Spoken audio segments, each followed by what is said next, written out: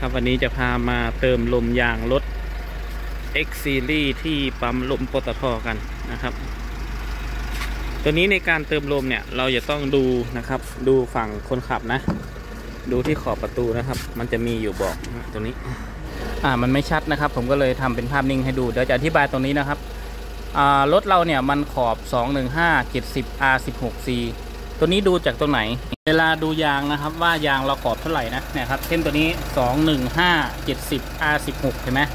นะครับ เราก็ดูตรงนี้เลยจะเห็นว่ามันตรงกับที่มันติดอยู่ตรงตรงนั้นเลยนะครับ เราก็เติมตามนั้นเลยนะครับ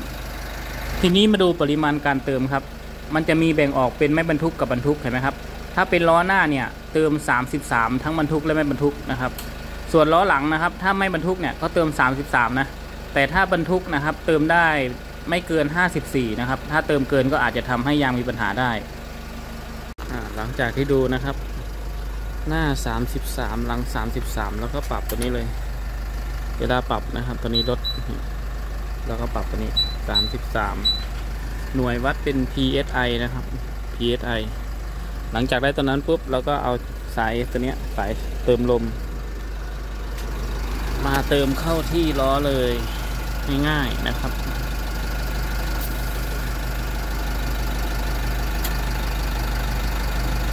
จะเห็นว่าตอนนี้ 40 นะครับ แรงดันลม 40 เลย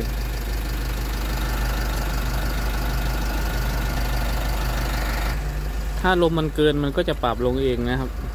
มันจะปรับมันจะปล่อยลมออก แต่ถ้าลมไม่พอมันก็จะปรับให้อัตโนมัติ เดี๋ยวรอดูครับตอนที่มันเสร็จมันจะดังติดติดติดปกติรถคันนี้แฟนผมจะ เอาไว้ซื้อของนะครับ ไว้ซื้อของพวกขนพวกอะไรต่างๆนะ ที่ดูน่าจะไม่ได้เช็คลมสักทีนะครับ บางข้างนี้ลมขึ้นเยอะเลย น่าจะเติมมาตั้งแต่ศูนย์แล้วนะครับเขาก็เติมไว้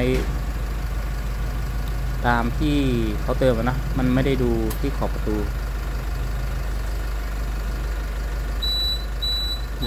ดังแบบนี้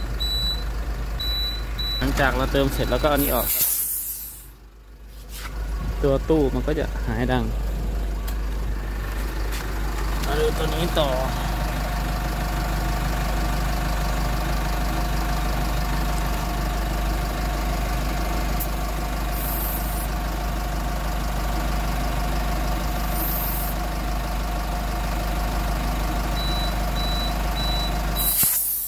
ฝั่งนี้ 33 อยู่นะ แสดงว่าลมฝั่งนู้นไม่ได้ โอ เค ข้างหลังเราจะเติมที่ 40 นะครับ อันนี้ขึ้นอยู่กับการบรรทุกของเรานะครับ แต่อย่าให้เกินที่มันระบุไว้คือ 54 นะครับ ไม่งั้นอาจจะมีปัญหาได้